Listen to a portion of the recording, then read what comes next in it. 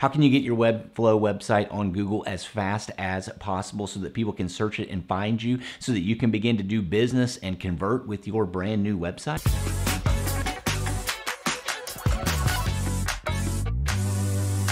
Maybe you've been there. You just finished developing a website. You've spent months with the designer and developer getting everything just perfect. You finally approve it and you press publish. And then you go on Google, you search your website, and it's nowhere to be found. What do you do? How can you get your Webflow website on Google as fast as possible? Well, today I'm going to show you exactly how to do that. Let's hop into the computer.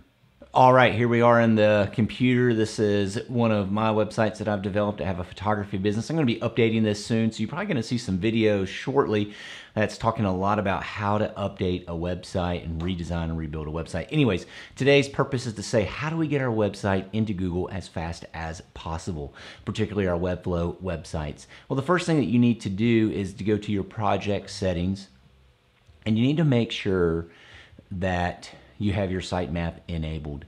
And so after you've published everything, you've done all of that, then the next thing you need to do is make sure go to SEO, go to sitemap, auto generate sitemap. You need to make sure that this is on. And notice what it says right here.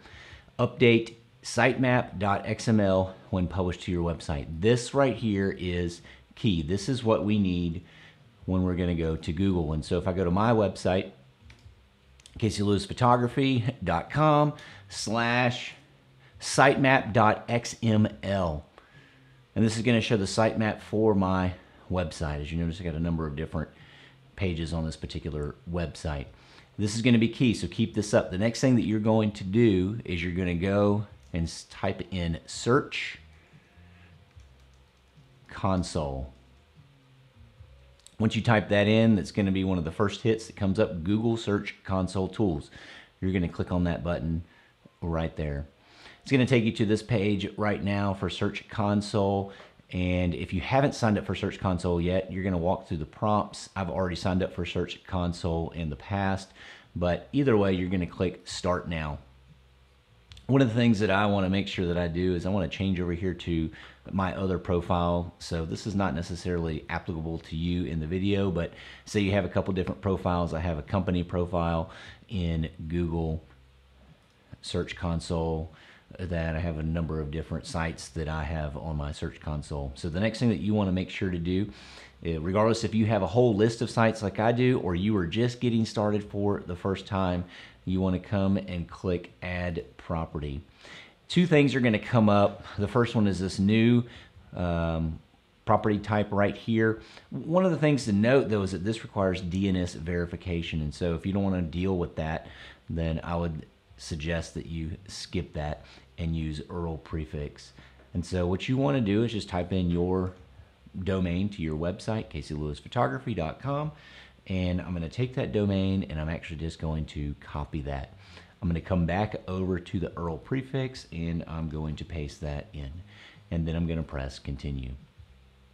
It's going to verify my property. And one of the things that it's going to ask me to do is to verify my ownership of this particular property. One of the easiest ways to do this, if you don't have analytics or Google Tag Manager or anything like that set up, is simply just to put an HTML tag on your website's homepage.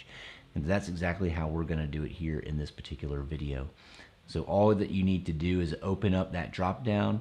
Here is the tag. You're going to copy that. And then you're going to go to your Webflow project again. You're going to go back to the designer and you're going to make sure that you're on the home page, particularly when you go back to the designer from the project settings. It's going to take you to your home page, so you should already be there. And as soon as this loads up, I'll show you exactly where to paste this piece of code. You're going to click on Home. Then you're going to click on the gear icon.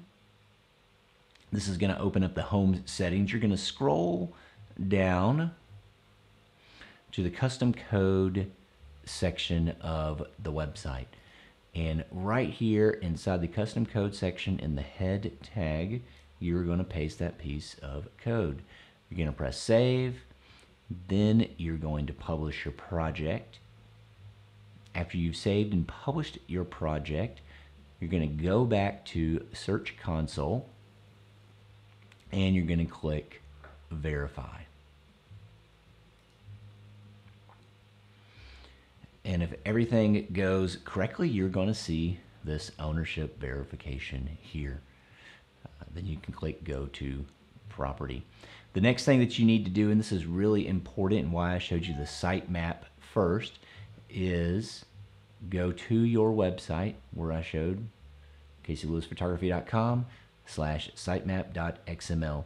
What you're going to do is just copy this piece right here, sitemap.xml, or you could simply write it into Search Console. It doesn't really matter. But over here on the left-hand side, underneath indexing is sitemaps. And so you want to go right here. It has add a new sitemap. It has your URL that you have typed in already. And then all you need to do is paste or type sitemap.xml. And then you're going to submit that to Google for them to crawl your particular site. And that's all that you need to do. After a couple of days, the status here is going to change to crawled. And what you should actually begin to see if I show you the sitemap for my particular, for my actual website, clcreative.co, you're going to notice that there's going to be a sitemap that is right here. And after a while, the status should be success, and it's going to tell you exactly how many URLs that Google has discovered on your page.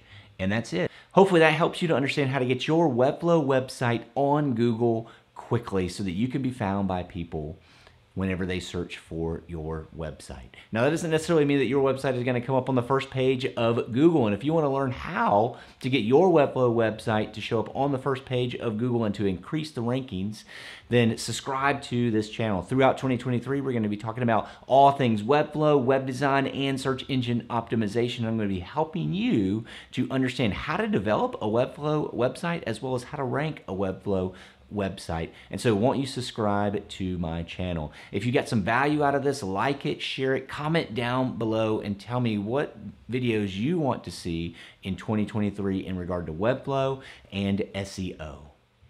I'll see you on the next video.